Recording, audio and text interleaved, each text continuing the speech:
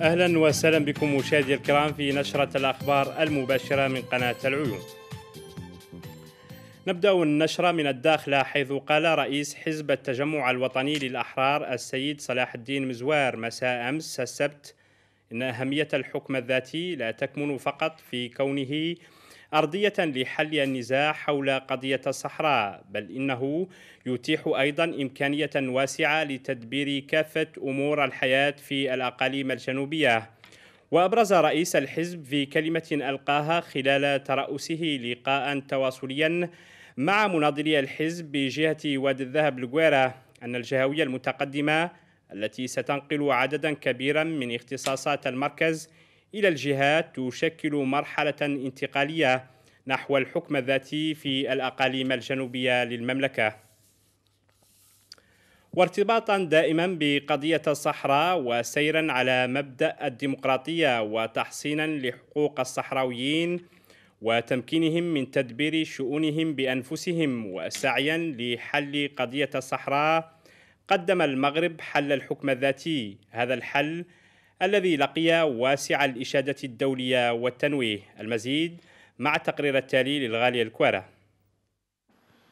دون مخرج لا زالت قضية الصحراء عصية على حلول عدة طرحت على طاولة المنتظم الدولي بهدف حلحلة ملف تتفاقم تداعيات جموده على ربوع المغرب العربي مهددة سلامته ومجمدة جل جهود التعاون والتآزر في منطقة المغرب العربي.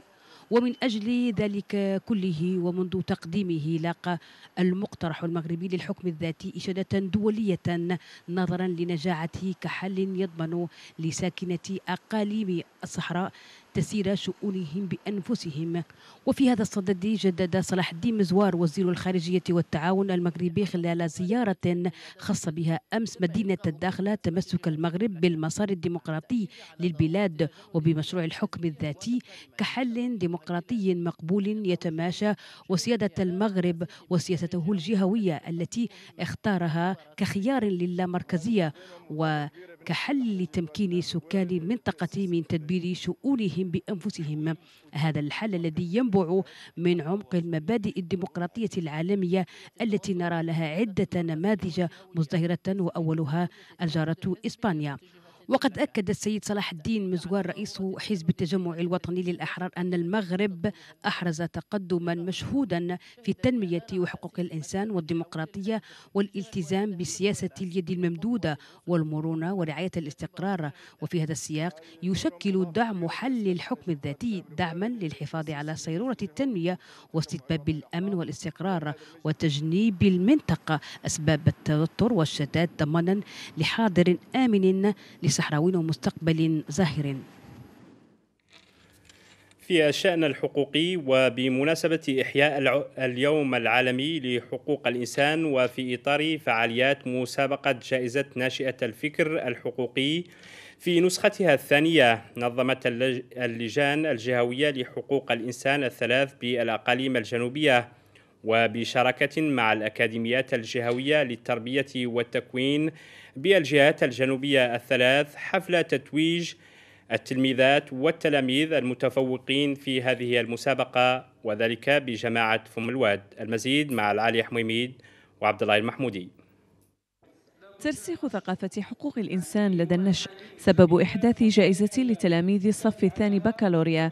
عمل تضافرت الجهود فيه بين لجان الجهوية لحقوق الإنسان والأكاديمية الجهوية للتربية والتكوين للجهات الجنوبية الثلاث. 36 تلميذا خاضوا غمار تجربة بدأت محليا على مستوى المؤسسات التعليمية ليتواصل التنافس على مستوى الأكاديميات. في نصوص كتاب أصدره المجلس الوطني لحقوق الإنسان تحت عنوان التأسيس الفلسفي لحقوق الإنسان والذي كان هو الفيصل في النتائج النهائية التي حصل عليها المتنافسون. الصراحة هذه المبادرة سمحت لنا 36 تلميذ وتلميذة أننا نعبروا على الأفكار الحقوقية ديالنا باعتبارنا كنمثلوا العديد من التلاميذ اللي باغيين يوصلوا أفكارهم الحقوقية بصفة عامة وأفكار حقوقية اللي كتخص بلادهم. أنا أشعر الآن بالفرحة الشديدة لأني آه، قدرت أنني نشرف الجهة ديالي والمدينة ديالي وحتى الأهل ديالي.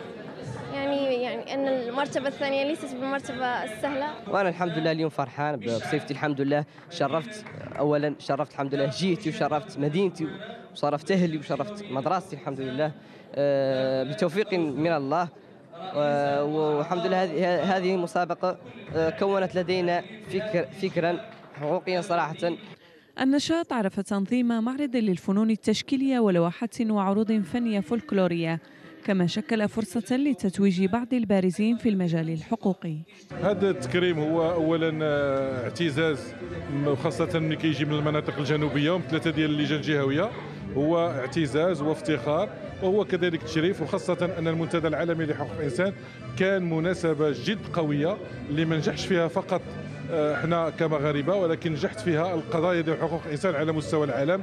وأكيد أن ال- ال- الخطوات المقبلة في هذا المجال غادي تكون جد مهمة واللي غادي تنعكس ايجابا حتى على إخواننا في المناطق الجنوبية وفي اللجان الجهوية الثلاث اللجان الجهوية لحقوق الإنسان بالجهات الجنوبية الثلاث عمل دؤوب من أجل ترسيخ قيم المواطنة الحقة وثقافة حقوق الإنسان لصيانة الكرامة وتنشئة الشباب على المواثيق الدولية بحقوقه وواجباته. وكانت هذه ال- ال- الجائزة كذلك احدى المحطات الأساسية. أظن الآن أن يعني اعتراف كل آليات الأمم المتحدة المنظمات الدولية الغير الحكوميه الخبراء الأمم المتحدة عمل لجان ثلاث يعني يشكل قفزة نوعية في المنطقة لأنها أكدت على ضرورة احترام حقوق آه، المواطن المغربي في كل جهات المغرب وفي هذه الجهات بالذات.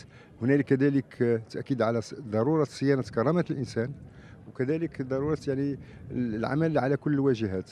وتوج هذا النشاط بإبرام اتفاقيتي شراكة بين اللجنة الجهوية لحقوق الإنسان لعيون سمارة والأكاديمية الجهوية للتربية والتكوين جهة العيون بجدور الساقية الحمراء إضافة إلى اللجنة الجهوية لحقوق الإنسان داخل أوسرد والأكاديمية الجهوية للتربية والتكوين لجهة وادي ذهب القويرة. اتفاقية تعنى بإدراج حقوق الإنسان في المراجع التربوية.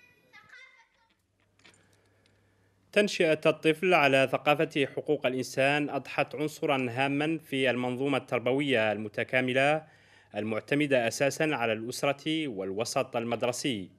وتسعى هذه التنشئة إلى توجيه وتحسيس الطفل بقيم المواطنة السليمة المبنية على احترام الآخر ومعرفة الحقوق والواجبات. تقرير في الموضوع مع محمد الفيرس. الطفل أبو الرجل مقولة شهيرة أطلقها رائد علم النفس بدايات القرن العشرين سيغموند فرويد وترمز هذه العبارة إلى كون تربية الطفل هي الأساس والمنطلق لتكوين شخصية الإنسان وغالبا ما يكون لإهمال الطفل وعدم تربيته على الأسس الصالحة نتائج كارثية تهدد تماسك وحدة المجتمع. اتفاقية حقوق الطفل والتي تبنتها منظمة الأمم المتحدة في العشرين من نوفمبر سنة 1989 جاءت لتحقيق هدفها الرئيسي رعاية ووقاية كل الأطفال قبل الولادة إلى سن الثامنة عشرة. وتتضمن هذه الاتفاقية مجموعة من المبادئ والحقوق الأساسية من أهمها الحق في التعليم والتربية والتنشئة السليمة. وطنيا صادقت المملكة على هذه الاتفاقية في سنة 1993 وقامت بوضع منظومة قانونية تتلائم مع المعايير الدولية لضمان تمتع الأطفال المغاربة بحقوقهم الأساسية. بالإضافة إلى إحداث مؤسسات تعنى بحقوق الطفل كالمرصد الوطني لحقوق الطفل في سنة 1995 مع تشجيع المجتمع المدني على إنشاء منظمات جمعوية تنشط في المجال ذاته. لكن هل تضمن هذه الترسانة القانونية للطفل حقوقه الكاملة؟ ماذا عن توعيته بواجباته قبل حقوقه؟ هناك عوامل متداخلة أخرى ترتبط بالمحيط والوسط الذي يعيش فيه الطفل كالأسرة والمؤسسة التعليمية عبر منظومة تربوية تسعى إلى توعية الأطفال وتربيتهم على ثقافة حقوق الإنسان واحترام الآخر ونبذ العنف وكل أشكال العنصرية وإقصاء الآخرين على أساس ديني أو عرقي. من الواجب أن تعمل الدولة بمؤسساتها المختصة على توفير الشروط القانونية لتمتيع الأطفال بحقوقهم الكاملة. ولكن من الواجب أيضا أن توضع برامج ومخططات تربوية تهدف إلى توعية الأطفال وتحسيسهم بأهمية التنشئة على ثقافة حقوق الإنسان. وتمثل هذه البرامج التحسيسية صمام أمان يمنع حدوث اختلالات اجتماعية وتربوية كثيرة تعاني منها بعض المؤسسات التعليمية في وقتنا الحالي كالعنف والهدر المدرسي. ويبقى الأساس في تنشئة الطفل على التربية الحقوقية السليمة. هو تربيته على المواطنة الصحيحة والتي تعد الركيزة الأهم لبناء مجتمع قوي ومتماسك. في الشأن النقابي عقد صباح اليوم بمقر الكونفدرالية الديمقراطية للشغل الجمع العام الاستثنائي لجمعية النهضة للمعطلين الصحراويين. الجمع أسفر عن إعادة انتخاب رئيسا جديدا للجمعية. وتصدر أيضا جدول أعمال اللقاء طرح مجموعة من الملفات والمواضيع المرتبطة بالمعطلين بالعيون. كما تم تدارس وطرح آفاق عمل الجمعية والخطوات المزمع اتخاذها في القادم من الأيام. بيئيا نظمت صباح اليوم بجماعة فم الواد بالعيون جمعية الصحراء لتنمية الساحل والقروية.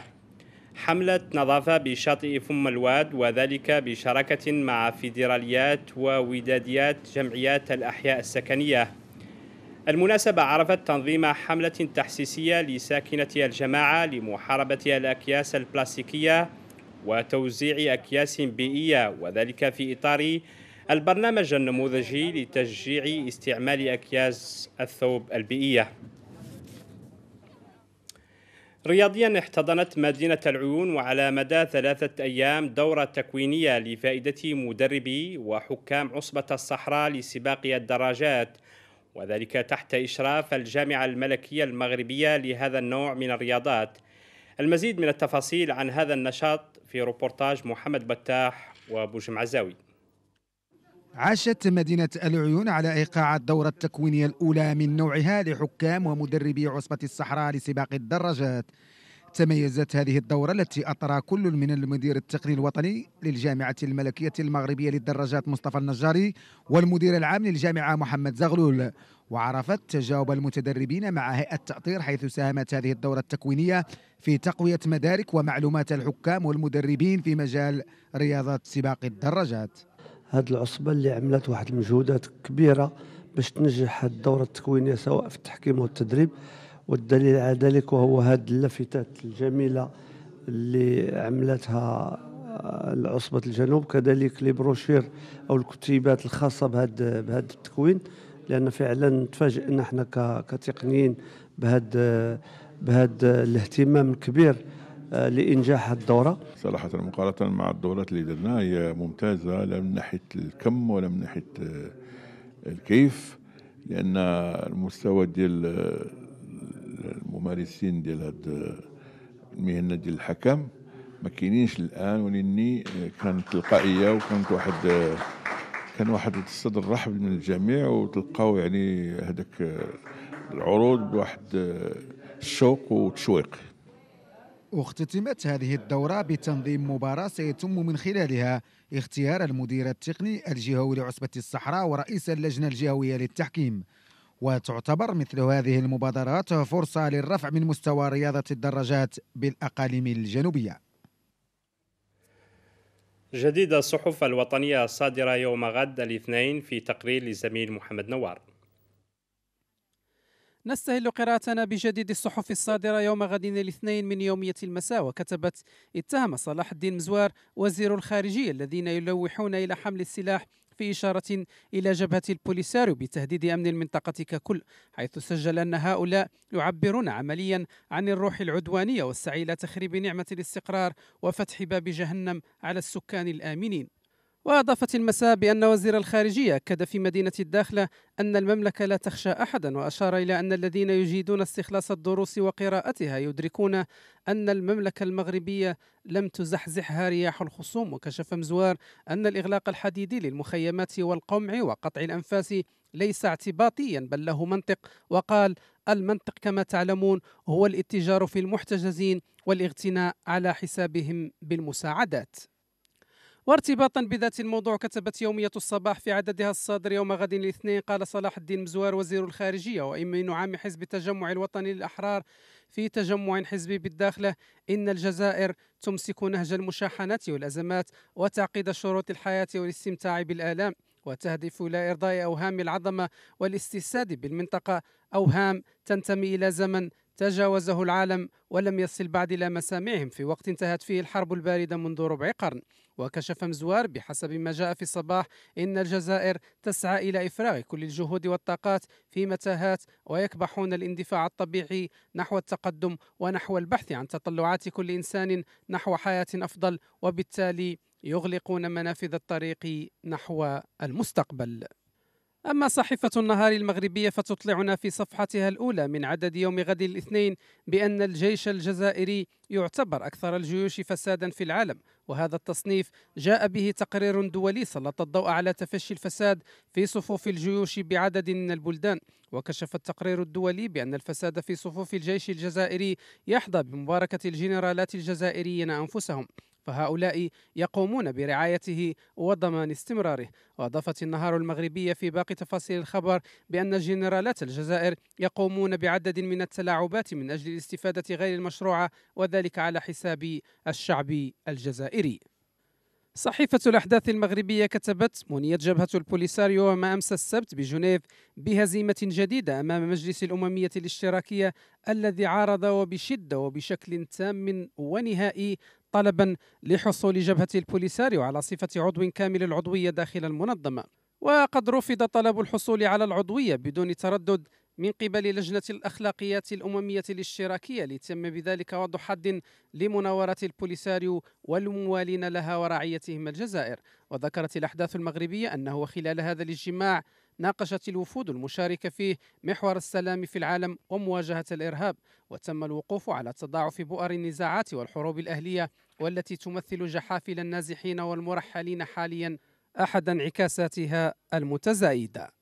ومن صحيفة هسبريس الإلكترونية نختم جولتنا الصحفية وكتبت لا تزال ساكنة الأقاليم الجنوبية المتضررة من الفيضانات الأخيرة تستقبل المساعدات الغذائية وغيرها من جهات مختلفة. كان آخرها حملة توزيع التبرعات من طرف إغاثة قليميم التي تواصل حملاتها بالجماعات القروية والحضرية بالإقليم حيث وصل عدد المستفيدين إلى 2100 أسرة إلى حدود يوم الجمعة الأخير أغلبها من العالم القروي. كان آخرها سكان جماعة سيمولاي وفق تصريح أحد منظمي الحملة التضامنية.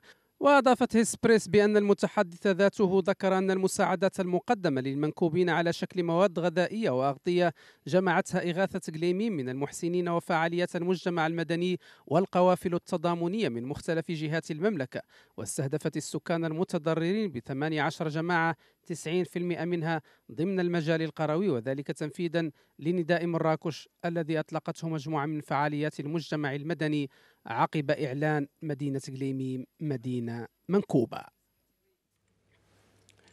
انتقل إلى عفو الله تعالى المرحوم عبداتي والحمدي والعمر والميارة عن سن تناهز السبعين سنة. الفقيد ينتمي لقبيلة الشرفاء رقيبات تالات وقد كان قيد حياته أحد أفراد المقاومة وجيش التحرير. شارك في معركتي الغيون ودي الصفاه وقد عرف بالورع والكرم وحسن الخلق وستقام صلاة الجنازة يوم غد إن شاء الله بمسجد مولاي عبد العزيز بمدينة العيون عقب صلاة الظهر.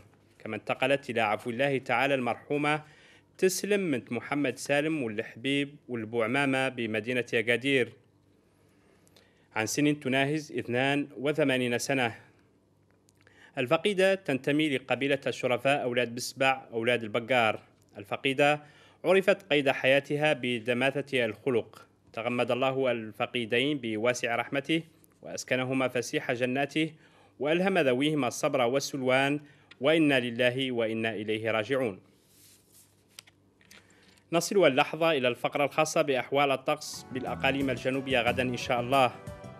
من المرتقب مرور سحب كثيفة مصحوبة بأمطار ضعيفة خلال الصباح بالسواحل الشمالية. درجات الحرارة الدنيا ستتراوح ما بين 7 درجات بطاطا 17 درجة بالقويرة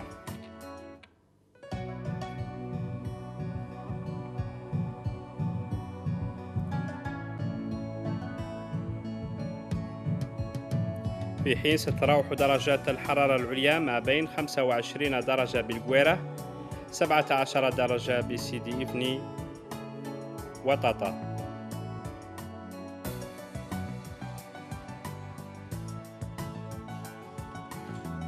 في حالة البحر بالواجهة الأطلسية سيكون البحر هائج إلى قوي الهيجان عموما.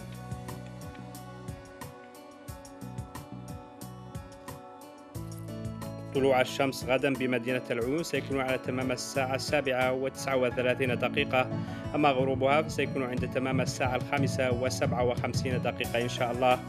أما عن بعض درجات الحرارة في بعض المدن المجاورة لبلادنا فسيكون على الشكل التالي. 34 درجة بباماكو 28 درجة بنواكشوط 25 درجة بنواذيبو 21 درجة بتندوف مع تسجيل 17 درجة بالعاصمة الرباط. قبل الختام نذكر مشاهدينا الكرام أنه يمكن لمن فاتته متابعة نشرة الأخبار للأيام الثلاثة الماضية متابعتها على موقعنا على الإنترنت snrt.ma كما يمكنكم متابعة البث الحي لقناة العيون وإذاعتي العيون والداخل الجهويتين من خلال زيارتكم لموقع المجلس الملكي الاستشاري للشؤون الصحراوية كوركاس.com كما يمكنكم متابعة نشرة الأخبار وجديد البرامج عبر الآيفون وهواتف الأندرويد وذلك بتحميل التطبيق المجاني لقناة العيون من ال App Store و Google Play. كما تلتقون غدا مع إعادة لهذه النشرة على قناة المغربية. أطيب المنى وفي أمان الله.